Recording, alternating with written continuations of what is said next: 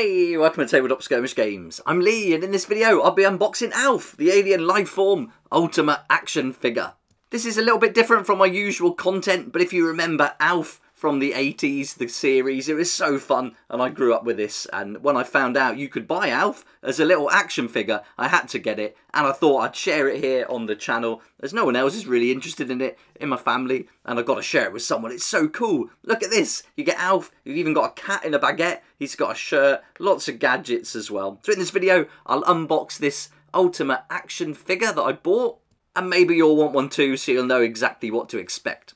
So here it is, Alf, and on the front you get a really good picture of him, a classic from the 80s, so fun. And I loved this series growing up. It was so good watching this. The 80s had so many good cartoons, so many iconic characters. It was just brilliant. But anyway, this is from a company called NECA. I just bought it on eBay. You can get it in all different places. I'll put a link in the description to Amazon if you want to check it out. But here's the one that I got and on the back you can see everything that's going to be included. If you don't know about Alf, Alf crash landed through the roof of the Tanner family's garage and into the hearts and homes of America's television viewers and the UK as well. I was watching this in the UK growing up. And here you can see some of the things you're going to get in the box. And at the bottom, it tells you you're going to get the shirt, the cat sandwich, soda can, sunglasses, ham radio, popcorn, bag of slime balls, picture frame, and some interchangeable hands as well. Okay, let's get this guy open up and see what we've got going on in here. Now, I haven't bought anything like this before, and I'm certainly not going to keep him in the packaging. I think these things could well be designed for that, just to keep on show. But I'm getting him out. He's going to be on display. I'm going to be posing him with all the different accessories as well. And here you can see with it open, you get another nice photo of the model itself with the popcorn, sat on a sofa, and then all the contents of the box on the right hand side. I love that picture frame, so good. And then you've got all the little bits and pieces there. I noticed some of the paint had come off his nose there. It's rubbed off on what looks like the inside of the plastic. Uh, so if you wanted to keep it in the plastic, that's a bit of an issue. These aren't cheap either, what, 30, 40 pounds? So not mucking about on price here, so you don't really expect that kind of thing. So that's a little bit of a shame. But I'm going to take him out anyway, so it doesn't really affect me. But I think if you were going to buy it to collect and leave in the box, that's something you'd be looking out for.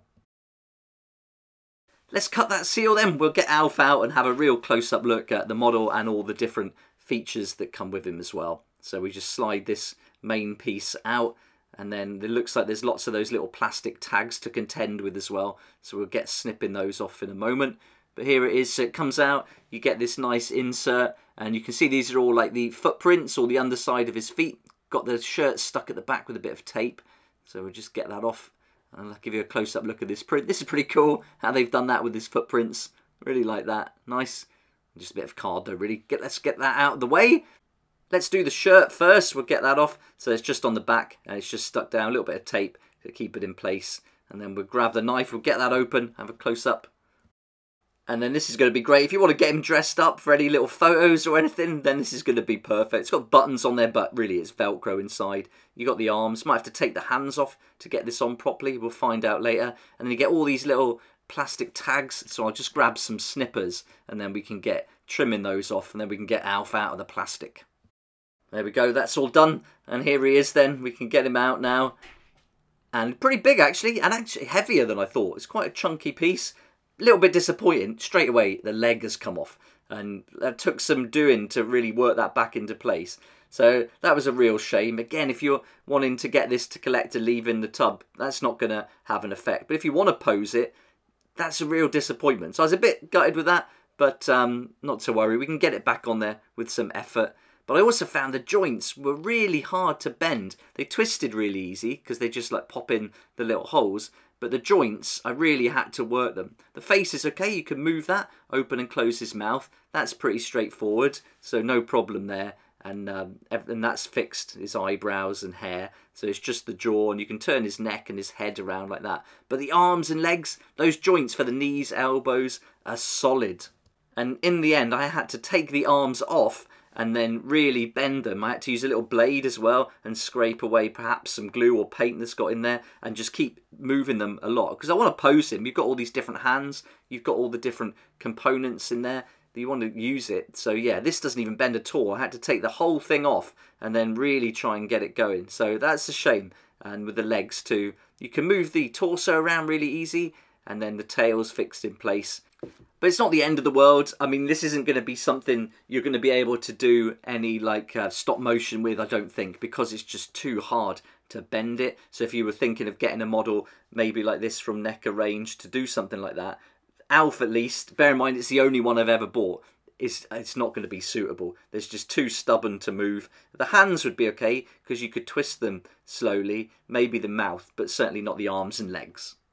To take the hands off, you just give it a bit of a tug and it's like a little peg that goes in, you can see there in the hole, and then you just grab one of the other hands and then you can just push that in place. You have to be quite rough with this, really force it in, and then once it's in there, it'll twist around, no problem.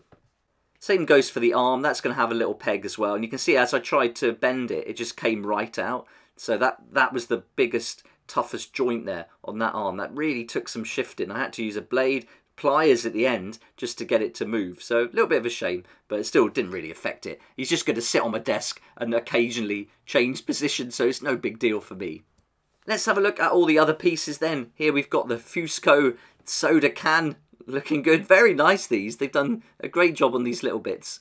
And then we've got the ham radio there. That's awesome. Again, really nice. All these little details have been done very well on it. So happy with that.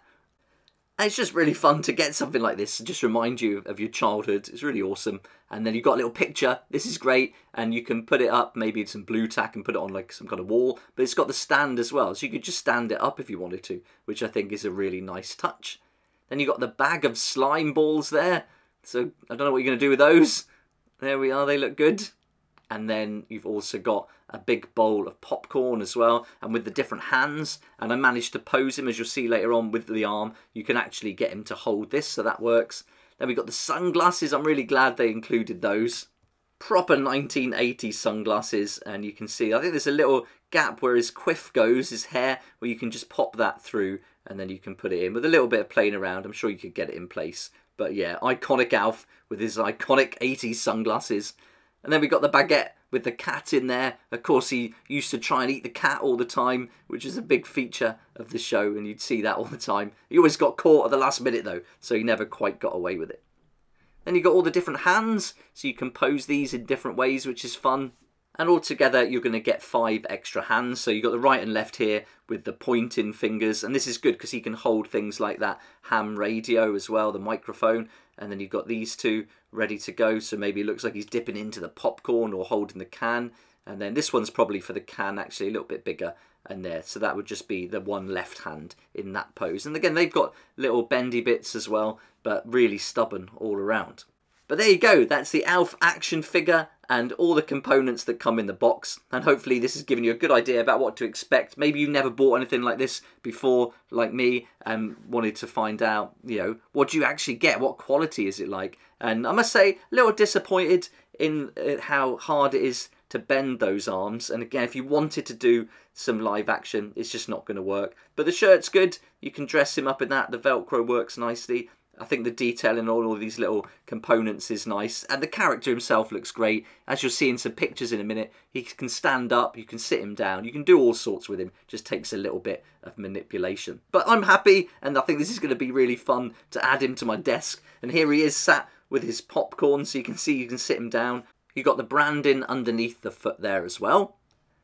And there he is with some different hands. And I've got a little table there with the, the cat in the baguette that he's having a look at, eyeing up. And then there's the ham radio. Change the hand again, open the mouth a little bit, and you can position that microphone in his hand so you can actually hold on to it. So that's a nice touch. And then you've got all the different bits here, the other bits, the photo. I really like that photo, it looks awesome. The can, the glasses, and again, you can stand him up. He can freestand. As long as you twist the legs just right, then he'll stand up no problem. With the pointing finger as well. Can be quite fun. I really like him in the shirt. I think he looks great just so funny. Just reminds me of so many cool memories from when I was a kid. I think this is just fantastic. But everything you get in the box now, all laid out, Alf standing up, dressed up, ready to go. As always, thank you so much for your support, helping me to keep going with these daily videos and supporting the sponsors of the channel as well. It's just fantastic that you click on these links and use them. It really helps. Helps these independent companies, helps me. You make some great savings on awesome products and everyone's happy. If you'd like to check out something else I've got going on at the moment, I've just started the TTSG podcast with episode one with Marco Picota. That's up on the YouTube channel and Spotify. I'll put links down below. Got some great guests lined up, and I'll be doing this every week. Hope you enjoyed the video. Thanks so much for watching. This isn't something I'm going to be doing any more of, I don't expect, unless I do buy something cool in the future. But I just have to share Alf. It's so fun. And so hopefully this will bring back some good memories for you too. So thanks again. If you liked the video, be awesome if you hit the like button. Subscribe for more videos like this one. And I look forward to seeing you here next time on Tabletop Skirmish Games. Thank you so much to my Patreon supporters for helping me to keep going with these regular videos. I couldn't do this without you, and I appreciate your support so much. If you'd like to join the Patreon community, support the channel, get some great perks at the same time, there's a link down below in the description. It'll be awesome to see you there.